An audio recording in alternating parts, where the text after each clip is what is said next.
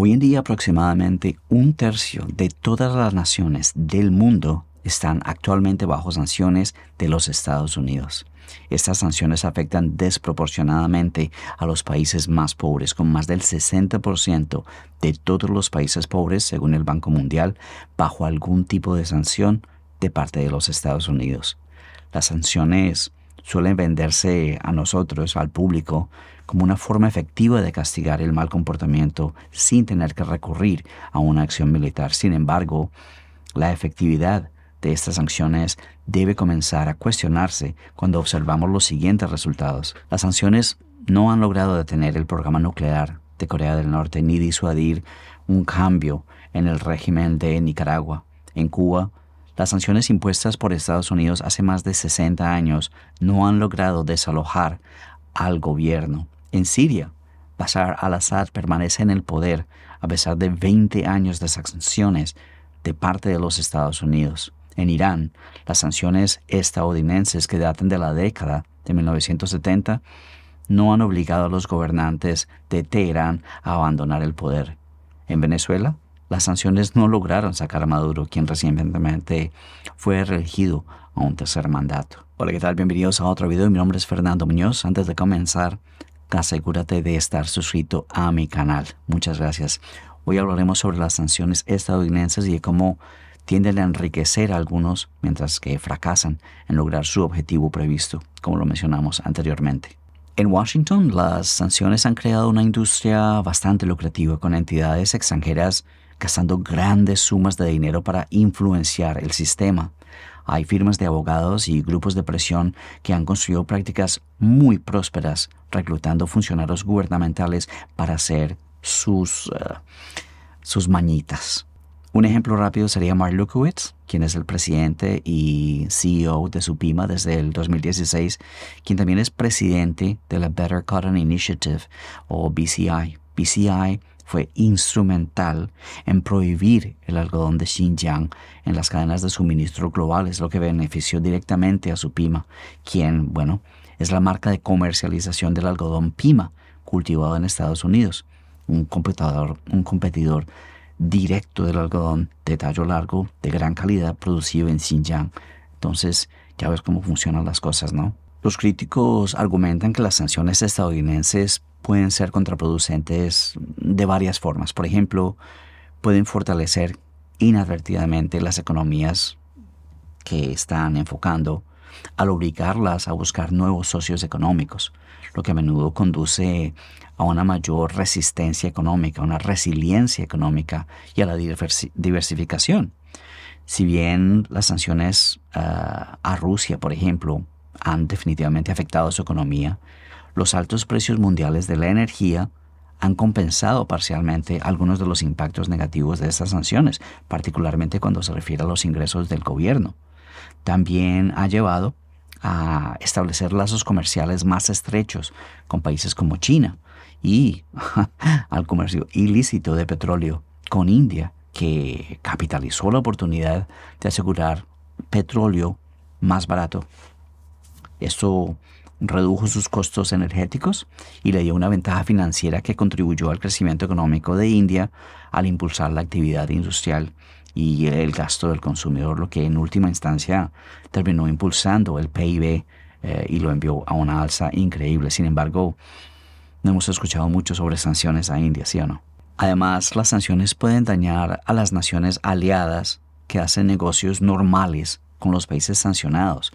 Ah, crean tensiones en las relaciones y causan dificultades económicas a los países. Piensa, por ejemplo, en las sanciones a Xinjiang, aquí en China, y los problemas que le han causado a Volkswagen o a BASF de Alemania, o el efecto que han tenido en la industria de la moda global, con marcas y minoristas occidentales como Adidas, Nike y HM que se encontraron atrapados en el fuego cruzado. Algunas de esas marcas han tenido que enfrentar el rechazo de los consumidores chinos en este mercado de 1.400 millones de personas. Eso no es, eso no es una cosa de decir, uy, no, tuvimos un mal día.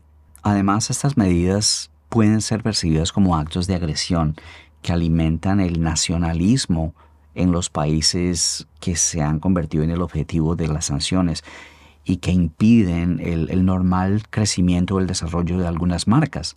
Por ejemplo, Apple ya está por fuera de las cinco principales marcas de teléfonos móviles aquí en China.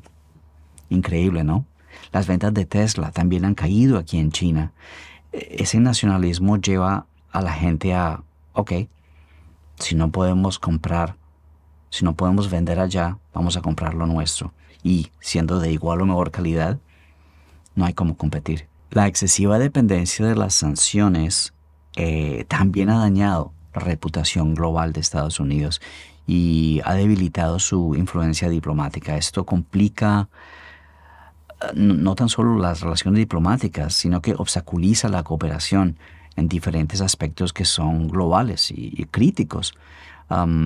y, no permiten crear oportunidades y llevan a las potencias rivales a llenar vacíos que los Estados Unidos han dejado. Un ejemplo de esto es el cambio climático, donde las sanciones han obstaculizado la cooperación en ciertos temas vitales como el desarrollo de las tecnologías de energía limpia. Hoy en día China es el líder mundial en la fabricación e implementación de energía solar, energía eólica, baterías eléctricas para vehículos eléctricos y, en general, la electrificación de su flotilla vehicular, sin mencionar que hoy en día lidera tecnología con innovaciones como reactores nucleares de autoenfriamiento. China está destinada a dominar estos mercados por todo el sur global, mientras que Estados Unidos va a continuar ocultándose detrás de proteccionismo porque simple y llanamente no son capaces de competir. Otro ejemplo de esta imposibilidad de cooperar es la exploración espacial. Hoy en día hay astronautas occidentales atrapados en el espacio indefinidamente, pero no pueden pedir ayuda a Rusia o a China.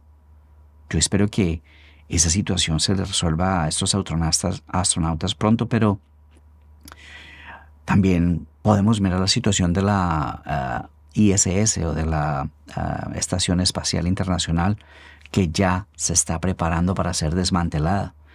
Se estrellará de manera controlada contra la Tierra en enero del 2031, mientras que Tiangong, la Estación Espacial de China, si quieres aprender más de ella puedes ver un link por aquí, comenzó sus operaciones en el 2022 y se espera que funcione hasta mediados del siglo. Pero desafortunadamente la ley americana no permite la cooperación con China. Es la llamada ley Wolf. Pero bueno, el, el riesgo que afecta a casi todas las naciones del mundo es el dominio del dólar en el comercio mundial y la fijación de precios de las materias primas.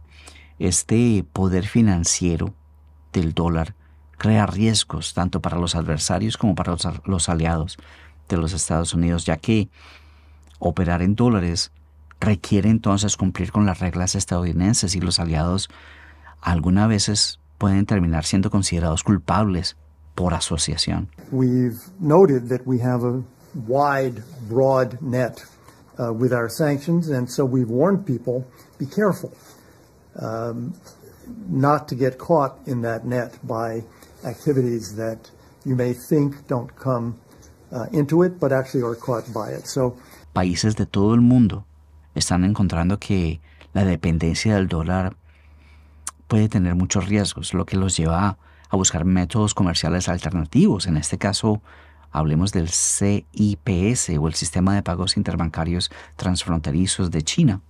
Hoy en día el CIPS se utiliza para la compensación y la liquidación de pagos fronterizos en renminbi, que es la moneda de transacción internacional china. Es un sistema que simplifica las transacciones comerciales entre China y otros países, reduce costos y mejora la eficiencia. Y además de eso contribuye al desarrollo de los mercados offshore de renminbi y los centros financieros. Bypasean totalmente el sistema SWIFT.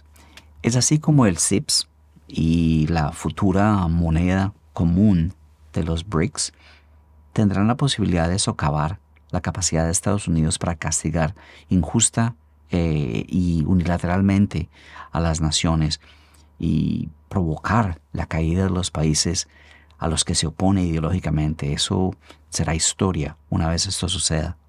Y Bueno, créalo o no, a veces hay resistencia de lugares inesperados. En el 2014, la anexión de Crimea por parte de Rusia presentó un desafío interesante. Apuntar a una economía importante como Rusia arriesgaba la inestabilidad del mercado global y muy rapidito fueron surgiendo algunos problemas. Los líderes europeos estaban objetando las multas que se les estaban imponiendo a sus bancos. Incluso Wall Street se quejó de los costos de tener que cumplir con los requerimientos debido a estas sanciones. Pero incluso a pesar de todas estas advertencias sobre el exceso de sanciones, el gobierno y la administración de Biden han impuesto más de 6.000 sanciones en dos años.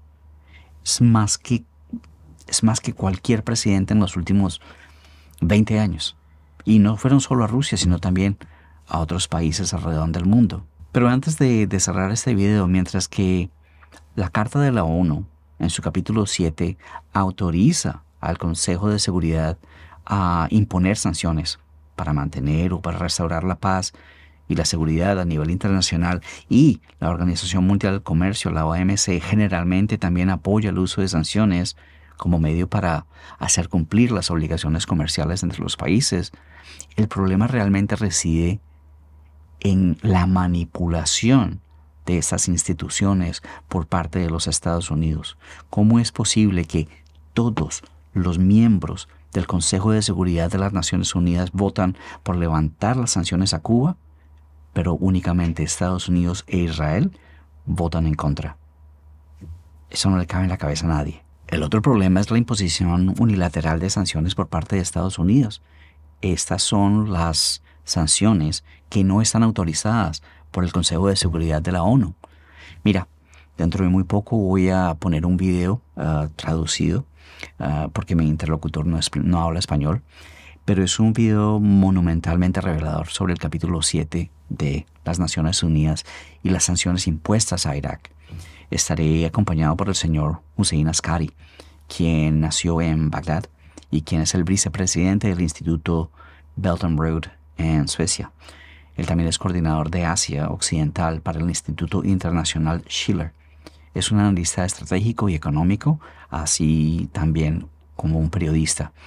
Él va a responder algunas preguntas para explicar la posible ilegalidad de la conducta del gobierno de Estados Unidos con respecto al manejo del petróleo de Irak. O sea que realmente no quieres perderte ese video, asegúrate de suscribirte para verlo cuando lo pongas. Ese es todo el tiempo que tenemos hoy. Gracias por ver este video. Asegúrate de darle un like, comentar y compartir. Y si quieres apoyar el trabajo que yo hago, el enlace está en la descripción a continuación. Y hasta que nos veamos nuevamente. Chao, chao.